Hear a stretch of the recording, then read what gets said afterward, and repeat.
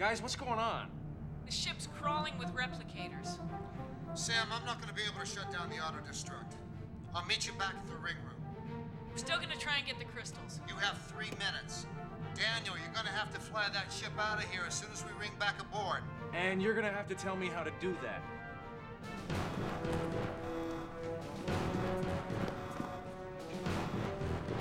Sam, Jack, one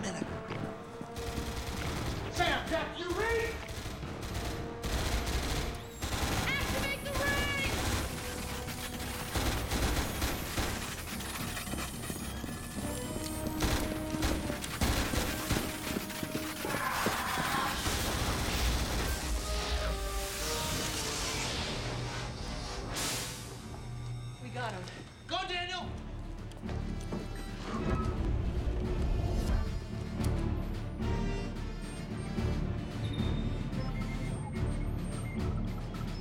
There's not enough time to fix the hyperdrive, is there? We're gonna have to hope the sublight engines can get us far enough away. Of course, that's only gonna matter if the replicators can't shut down the auto-destruct. They'd have to learn to reprogram a Goa'uld computer awfully quick. It's possible if they get control of that ship. Hey! You guys are just being too negative. We're not gonna make it. Going as fast as we can.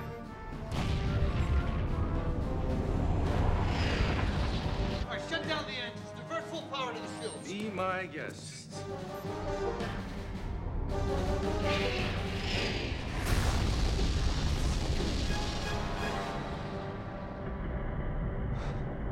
That was close.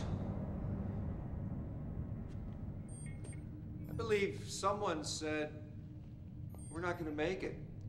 Sam, let's get the hyperdrive running. Excuse me. I distinctly remember someone saying, we're not going to make it. I think we made it.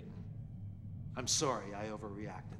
At the time, it looked very much like we weren't going to make it. Yes, well, maybe next time you'll just wait and see. And blow the last chance I might ever have to be right.